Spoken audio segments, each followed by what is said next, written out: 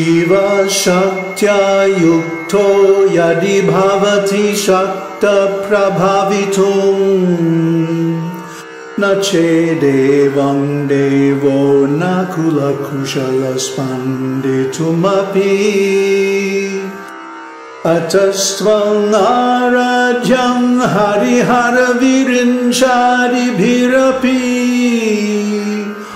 Pranantum stotum va katumakrita punya prabhavati. Namaste. Well, it's a new year, and we're going to start a new series.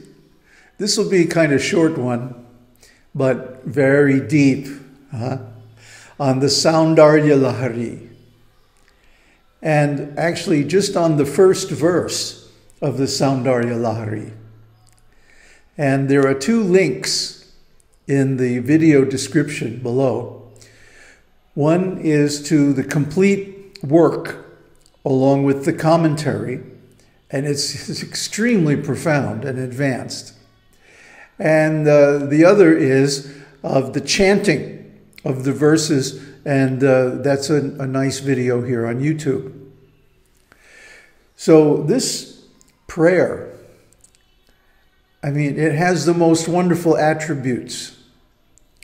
First of all, it was only uh, written a short time ago by Adi Shankaracharya, uh, about 1500 years ago, but it's a real Vedic classic because it succinctly describes the ontological position of Shakti.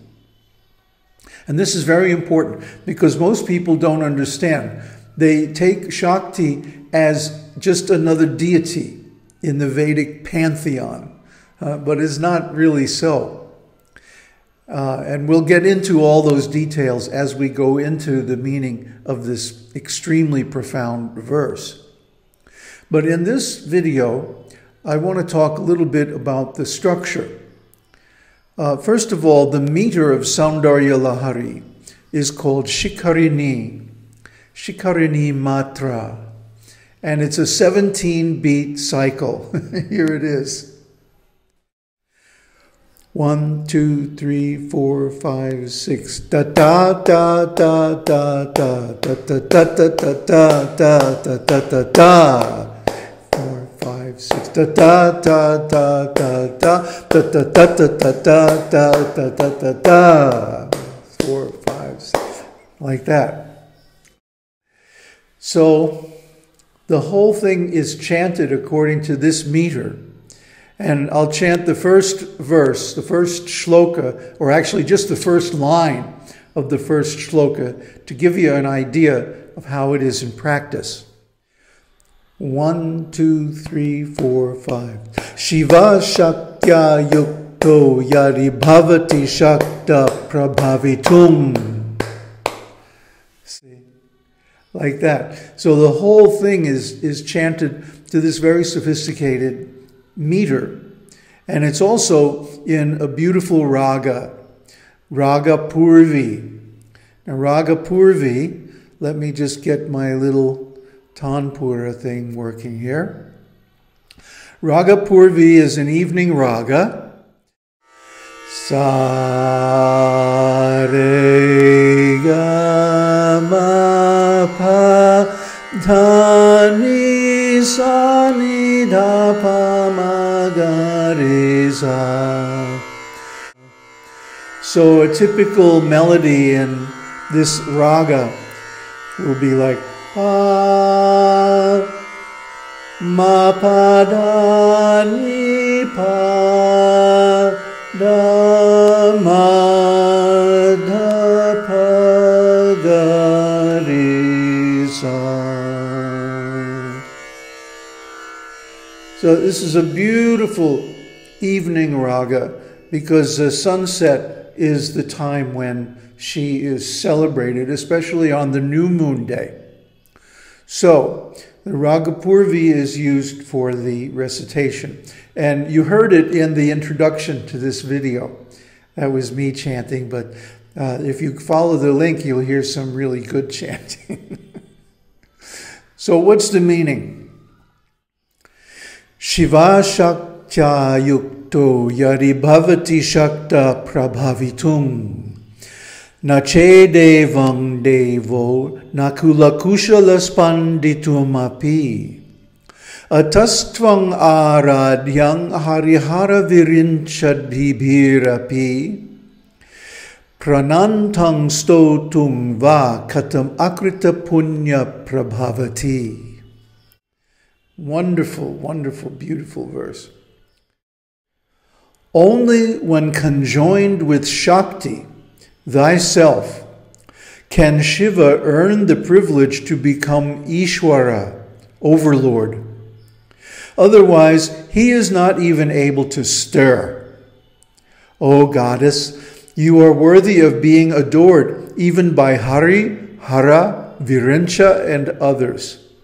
Therefore, how can one who has acquired no merit dare either to salute or praise thee?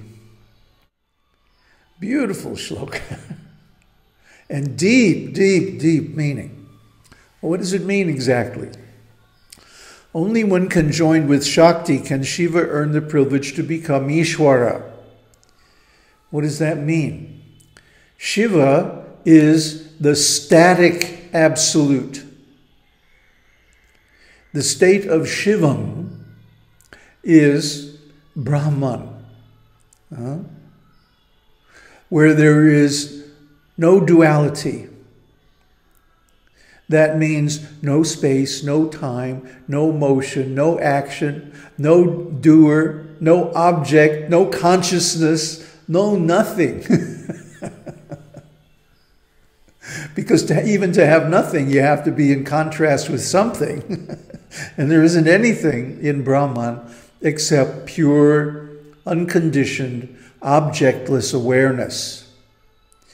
So, this state of Shivam or Brahman is static. Nothing ever happens. There's no changes. Huh? But within Brahman, something arises. Duality, or the appearance of duality. Actually, there is no duality. but there appears to be duality and all kinds of changes and actions and qualities and you know, phenomena. that is Shakti. So, how can Shiva be Ishwara, the controller, the overlord, unless he has something to lord it over or to control? That is the creation. And the creation is also Shakti. But according to our Acharya, Shankaracharya, none of this means that there is really duality. Because Shakti is one with Shiva.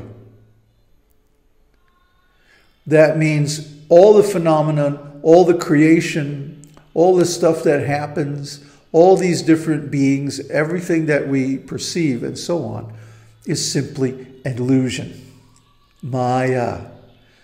Okay? And this is one of her thousand names, Mahamaya. And another one is Vishnu Maya. So, in this way, Shakti creates an illusion or an appearance in Brahman, which remember is pure awareness. The first illusion is that there is an object, therefore, there can be consciousness. Consciousness is when you have a subject, an object, and the awareness revealing, uh, uh, first of all, uh, illuminating, and then revealing it for what it is. But consciousness can only exist when there's a subject object duality. So she also creates that illusion. And then on top of it all, she is action, motion, the different qualities, beginning with the, the three basic qualities of existence goodness, passion, and ignorance sattva, rajas, and tamas. These are called the gunas or the qualities. So, Shakti is the basis of all manifestation, of all being outside of the absolute being of Brahman. And, of course, all the beings, including you and me. So, all this is actually just illusion. As you'll discover if you meditate on her and she reveals herself to you. This happened to me in 1984. so if she reveals, or when she reveals herself to you, you will see that actually everything is one. There is no duality. The duality is simply an appearance, but it's an appearance within Brahman, consciousness, or actually awareness. This is the great mystery. Huh? So I just want to run through this shloka one more time to get familiar with it and give you an idea of the meanings of the words so that you're not in a mental fog because of not understanding the meanings of the Sanskrit. Shaktya yukto yadi bhavati. Only if yoked with Shakti. Shiva Deva means even Lord Shiva. Shaktaha has the power prabhavitum, to create the world. Nache devang, if not so yoked, na kushalaha, he is not capable. Spanditumapi, even to make a move. Kalu, isn't it so? Ataha, thus, katang prabhavati, how is it possible? Akrita punyaha, for one who has not accrued any spiritual merit, pranantum, to do prostrations to, stotungva, or to praise by hymns, tvang, you, aradhyang harihara virinchadi bhirapi, who are worshipped even by Shiva, Vishnu, Brahma, and the like. Hari means Vishnu. Hara means Shiva. And Virinchi means Brahma. Adibhir means and all the rest of the gods. So even the great triumvirate, huh, the Hindu trinity, worship Shakti. Even Shiva worships Shakti. What to speak of the other gods? Virinchi, by the way, is another name of Brahma. So this shloka, this beautiful shloka, Shiva Shaktya Yukto Yaribhavati Shakta Prabhavitum. Nache Devang Devo Nakalukushala Spanditumapi. Atastvang Aradhyang Harihara Virinchadi Bhirapi. Pranantung stotung va katamakrita punya prabhavati. Only when conjoined with Shakti, thyself, can Shiva earn the privilege to become Ishwara, overlord. Otherwise, he is not even able to stir. O goddess, you are worthy of being adored even by Hari, Hara, Virincha, and others. Therefore, how can one who has acquired no merit dare either to salute or praise thee? And this we see huh, that a person who has no spiritual merit, no punya, who has not done karma yoga and bhakti yoga, sometimes they try to jump up to jnana, but they don't make it. they fall down. And actually, it is written in several places in the scriptures that one worships Shakti in one's last lifetime. Because Shakti can award moksha. Shakti can award liberation. She is Maya. She is the trap of illusion. So therefore, she can also release you from the trap. So if you are fortunate, if you have done your homework, if you have the, the background to be released from Maya, then you also have the privilege to worship her. Otherwise, you'll think, oh, there's no need. It's not really uh, important. You know, I don't have to do this. I can just sit and meditate and realize the Brahman. No, it doesn't happen. And we see it, practically speaking.